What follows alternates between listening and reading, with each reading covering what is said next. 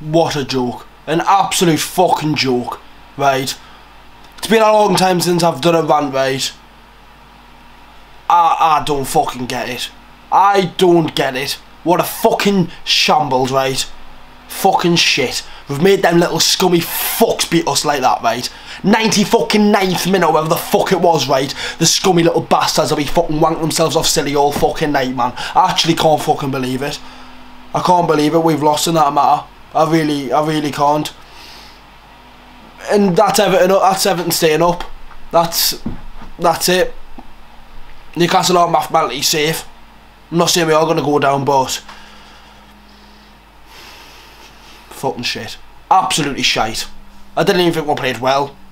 We we, we only looked at our in the first half because how bad Everton were. They were shit the whole game, Everton. And their fans will admit that. Everyone in the commentary team said that, right? How shit they were all game. But when you get a win like that, it changes seasons. Happening at Newcastle at Leeds. Beat Leeds 1 0 with a scrappy win. What happened when on a 9 game unbeaten run?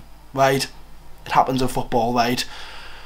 Did I, did I think we deserve to lose the game? Absolutely not. But I just think the way that the way that the way the team just just died out towards the end of the game. There's fucking there was no passion in there whatsoever. No passion whatsoever towards the end of the game. There was fucking nout. There was absolutely nout. The only players on that pitch who can hold their head up fucking high is Joelinton, Bruno, Dan Burn, Fabian Schär, and that, and that that probably is it. What the fuck's happened to Maximin? Everyone bigging him up, right? He is my favourite player. He's been fucking shit in recent weeks, and something needs to be fucking done about it.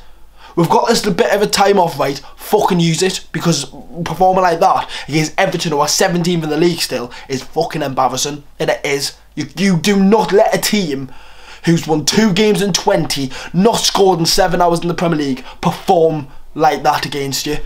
Because they they grafted their arse off. They fought for every second ball Everton. Did Newcastle? No. no nothing whatsoever and it, we, can't, we can't blame anything but ourselves. We can't blame the ref like the Chelsea win because the ref was on our side all game. Everton got really lucky with the ref. I'm not I'm not here to speak bullshit, mate. That referee was on our side.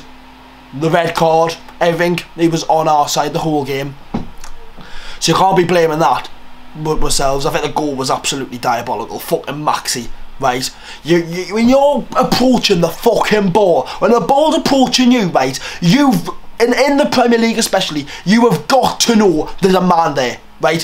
When do you ever get a better time in the Premier League on the ball? Fucking never, right? So make yourself look big and strong and hold the fucking ball up and don't dive around the floor like some fucking little pansy because that's what fucking happens. They get the ball, one, two, pass, Iwobi's one on one with the keeper and he slots it in the bottom corner. It fucking happens. You've got to make yourself look big in, situ in, in situations like that and he fucking didn't, right?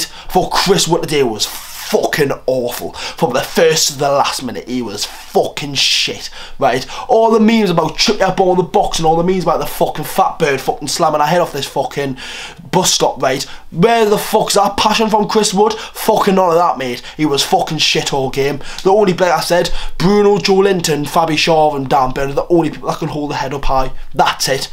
Rest of them, fucking shit. It really was. Is that, has that been a bit harsh? Fuck Naz. We need this break, we need a bit of time off and we'll go again against Spurs away. Fucking shit.